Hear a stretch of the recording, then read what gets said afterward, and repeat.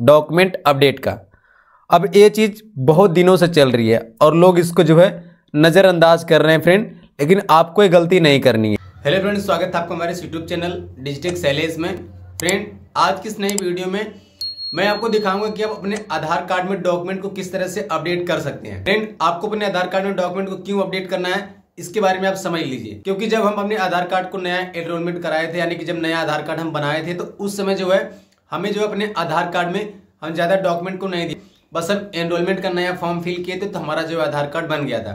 अब फ्रेंड आपके आधार कार्ड में जो डिटेल है, यानी कि आपका जो एड्रेस है, आपका जो नाम है, उन्हीं को वेरीफाई करने के लिए आपको कोई एक डॉक्यूमेंट उसमें अपलोड करना है। फ्रेंड आधार कार्ड में डॉक्यूमेंट अपडेट जो है, पहले चौदह मार्च था, इसके बाद चौदह जून हुआ, इसके बाद चौदह सितंबर हुआ और अभी के समय में चौदह दिसंबर इसकी लास्ट डेट है फ्रेंड अब इसके बाद हो सकता है इसकी डेट बढ़े या ना बढ़े तो आपको जो है इसी डेट के अंदर जो है अपने डॉक्यूमेंट को अपडेट कर लेना है।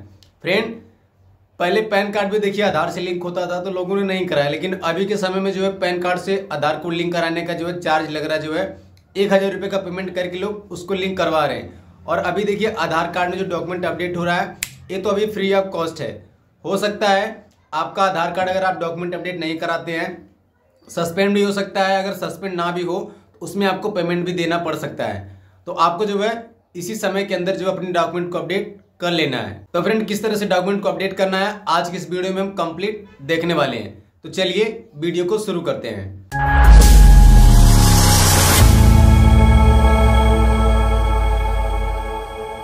सो so फ्रेंड आप देख सकते हैं, हम जो है, आधार की ऑफिशियल साइट पर आ चुके हैं। तो आपको जो है, इस साइट पर आने के लिए अपने ब्राउज़र में टाइप करना है my Aadhaar dot U I D A I dot G O V dot in या फिर मैं जो इसका डायरेक्ट लिंक आपको वीडियो के डिस्क्रिप्शन में दे दूँगा। आप जब वहाँ पे क्लिक करेंगे, तभी आप जो है इस पोर्टल पर आ जाएँगे। आपके आधार कार्ड की कोई भी सर्विस को आपको यूज़ करना है या एक्सेस करना है आधार कार्ड को तो आप इस वाली वेबसाइट से कर सकते हैं। अब देखिए, यहाँ पे आने के बाद आपको सारी सर्विसेज़ मिल जाएँगी। यहाँ पे देखिए, आप नया अपना आधार कार्ड डाउनलोड कर सकते हैं वर्चुअल आईडी जनरेट कर सकते हैं लॉक या अनलॉक कर सकते हैं। आपके आधार कार्ड से कौन आपका बैंक अकाउंट लिंक है, आप यहाँ से उसको चेक कर सकते हैं। यहाँ पे देखिए, अपने ईमेल आईडी और मोबाइल नंबर को वेरीफाई कर सकते हैं। तो यहाँ पे सब कुछ मिल जाता है। लेकिन फ्रेंड, आज की वीडियो में हम आपको जो दिखाने वाले हैं, वो ऑप्शन आपको सबसे पहले मिल जाता है। यहाँ पे देखिए आप, डॉक्यूमेंट अपडेट का। बहुत दिनों से चल रही है और लोग इसको जो है नज़रअंदाज कर रहे हैं फ्रेंड, लेकिन आपको ये गलती नहीं करनी है। अब देखिए, डॉक्यूमेंट अपडेट है क्या? डॉक्यूमेंट अपडेट, जैसे कि देखिए इसमें सिंपल से बताया गया, click here to upload your proof of identity and proof of address यानी कि आपको अपने आधार कार्ड में एक आईडी प्रूफ और एक एड्रेस प्रूफ के तौर पे डॉक्यूमेंट को अपडेट करना है, यानी कि अपलोड करना है। अब ये क्यों करना है? इसको करने का सबसे बड़ा रीज़न फ्रेंड ये है कि आपका आधार कार्ड अगर 10 साल या 10 साल से ज़्यादा पुराना हो चुका है क्योंकि आपको भी पता होगा कि जब नया नया एनरोलमेंट हो रहा था, हम आधार कार्ड को बनवा रहे थे। अब हमारी उसी डिटेल्स को चेक करने के लिए कि हमारे आधार पे जो हमारा नाम है, जो हमारा एड्रेस है, जो हमारा फादर नेम है, उसको हमें वेरीफाई करना है। तो आपके पास ऐसा और कौन सा डॉक्यूमेंट है जिसको आप जो अपने इस आधार कार्ड के डॉक्यूमेंट में दे सकते हैं? जैसे कि अगर हमारे आधार कार्ड में हमारा ये पता है तो हमारा वो पता हमारे किसी और डॉक्यूमेंट में होना चाहिए।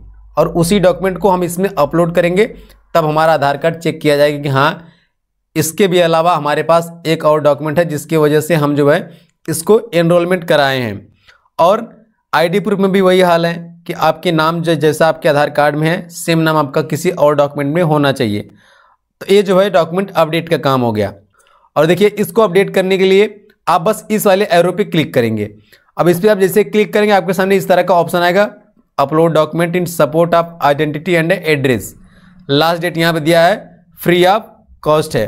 अब फ्रेंड क्लिक टू सबमिट वाले बटन पे आप क्लिक करेंगे, तब भी हो जाएगा, लेकिन इसको अपडेट करने के लिए आप क्या करेंगे, देखिए, उस पर आप क्लिक करेंगे तो यहाँ पे अपना आधार नंबर आप डालेंगे कैप्चा कोड इसमें फिल करेंगे सेंड ओ पे क्लिक करेंगे, आपके आधार कार्ड से जो मोबाइल नंबर रजिस्टर होगा, उस पर ओटीपी जाएगी, उस ओटीपी को आप यहाँ पे फिल करेंगे लॉगिन बटन पर क्लिक करेंगे। आप जैसे ही लॉगिन बटन पर क्लिक करेंगे, आपके सामने इस तरह का ऑप्शन आ जाएगा। अब देखिए यहाँ पे जो चीज़ें हमने आपको बताई, वो सब यहाँ पे लिखा है। और आप एक चीज़ ध्यान करिए फ्रेंड कि आप इसमें जो डॉक्यूमेंट अपडेट करेंगे एड्रेस प्रूफ के लिए और आईडी प्रूफ के लिए, उससे जो है आपके आधार कार्ड में नाम और पता चेंज नहीं होगा। बस वो डॉक्यूमेंट अपडेट हो जाएगा प्लस आपके आधार कार्ड में जो डिटेल आपकी पहले से थी, वही डिटेल रहेगी। वो चेंज नहीं होगी। ये हम चेंज के लिए नहीं बता रहे इसमें भी ये मेंशन किया गया है। अब आपको बस नेक्स्ट बटन पे क्लिक करना है। इसके बाद दोबारा से नेक्स्ट पे क्लिक करेंगे।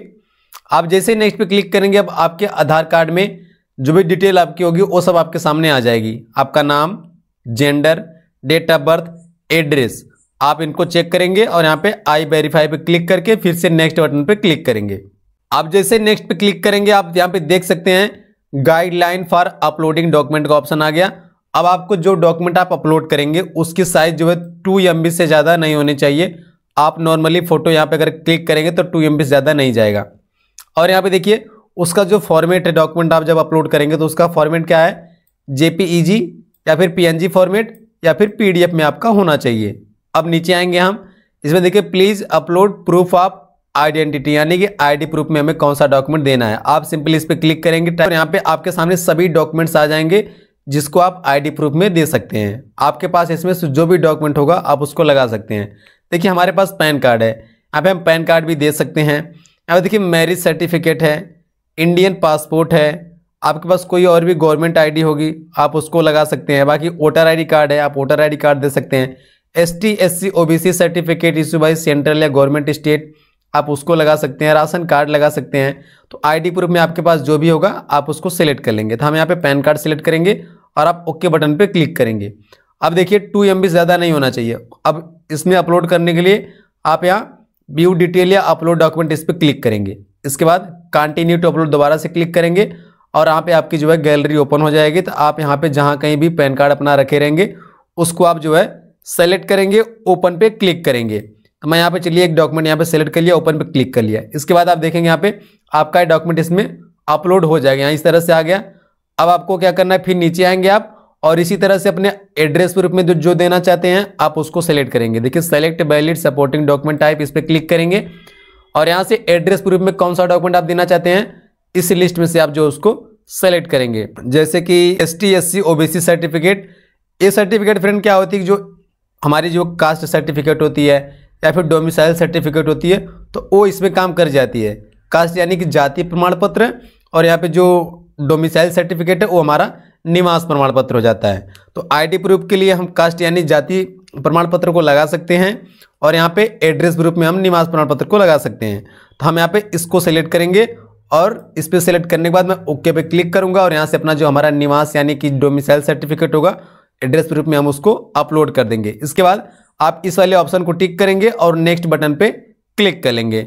आप फ्रेंड, जैसे नेक्स्ट पे क्लिक करेंगे, आप यहाँ पे देखेंगे, बताया जा रहा है। Please confirm your demography details in the document यानी कि आप जो डॉक्यूमेंट अपलोड कर रहे हैं, उस डॉक्यूमेंट में आपके आधार कार्ड में जो डिटेल है, वो दोनों डिटेल मैच होनी चाहिए। तो हमारा सब सही था, हम ओके बटन पे क्लिक करेंगे। आप जैसे ओके बटन पे क्लिक करेंगे, फ्रेंड, आपके सामने देखिए, एक नया इंटरफेस आएगा। फ्रेंड आप देख सकते हैं हमारे सामने इस तरह का ऑप्शन आएगा। Dear residence this service is free of cost यहाँ पे डेट आ गया। अब आपको लास्ट स्टेप में क्या करना है? बस सबमिट वाले बटन पर क्लिक कर देना है। आप जैसे सबमिट बटन पर क्लिक करेंगे, आपका डॉक्यूमेंट अपडेट का जो रिक्वेस्ट है चला जाएगा, तीन से चार दिन या फिर वन वीक के अंदर जो आपका डॉक्यूमेंट अपडेट हो जाएगा। हमारा फ्रेंड पहले से अपडेट था, बस मैंने आपको प्रोसेस दिखाया कि आपको क्या करना है। बस इतना ही आपको करके बस यहाँ पे जैसे आप सबमिट बटन पे क्लिक करेंगे आपका जो रिक्वेस्ट चली जाएगी और आपका जो डॉक्यूमेंट अपडेट हो जाएगा, आपका आधार कार्ड वैलिडिटी मान्य हो जाएगी। सो फ्रेंड बस यही प्रोसेस है आपको जो अपने आधार कार्ड में डॉक्यूमेंट को अपडेट करने का। तो आशा करते हैं वीडियो आपको काफ़ी हेल्पफुल लगा होगा। बाकी अगर आपको इसमें कोई कन्फ्यूज़न है तो आप हमसे कमेंट पूछ सकते हैं। हम आपकी पूरी हेल्प करेंगे।